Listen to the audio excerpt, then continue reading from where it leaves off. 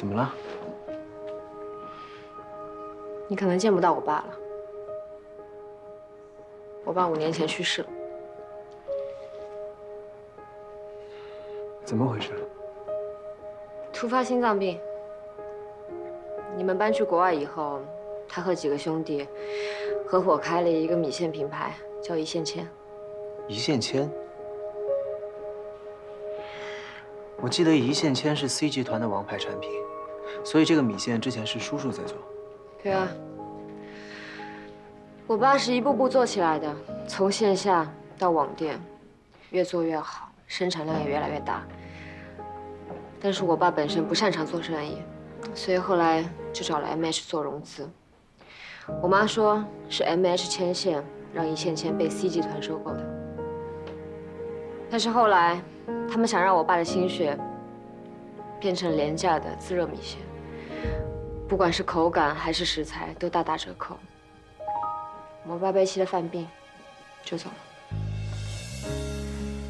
所以你是因为叔叔？才一定要进 M H。是啊，我教授跟我说，弱肉强食是这个资本世界最真实的样子，所以我就立志一定要进 M H 看看，这个金融圈是不是真的只有大鱼吃小鱼，在利益面前，善意和良心是不是只能排在末尾？那这半年，你觉得怎么样？别人呢，我不评价，但至少在你身上，我还是看到希望的。不管是对邓科、对万山，还是朱友谊，你都没有把利益放在第一位。那你就错了。我也是一个和资本打交道的人，只不过有些人眼光短浅，只懂得看眼前的利益，所以赚得快，死得也快。我不一样，我眼光长远。更看重长久的利益。只有尊重资本、善待资本，才能得益于资本。